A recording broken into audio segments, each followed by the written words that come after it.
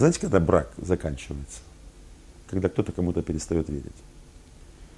А если человек перестал верить, как с ним можно разговаривать? Если я говорю, ну, например, если человек говорит, или женщина, или мужчина говорит своему визави, а он не верит, о каких переговорах можно вести речь? Ну, не, ну это, это как одна из составляющих. Более того, более того, это сплошь и рядом, сплошь и рядом, это, ну, существует проблемы. Я думаю, что